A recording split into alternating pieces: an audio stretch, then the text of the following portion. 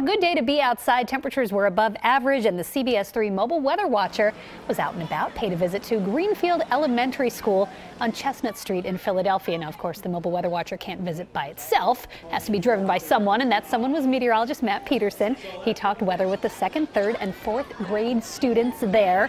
I have a third grader at home, so I know the excitement level was probably through the roof. The kids also got a got to take a close look at the Weather Watcher. We talked to some of the students about what they learned today. I learned that you can only go, um, uh, hurricanes can only go, go up to category five. I didn't know tornadoes can only go up to category five. And I didn't even know there's categories in the actual thing of weather.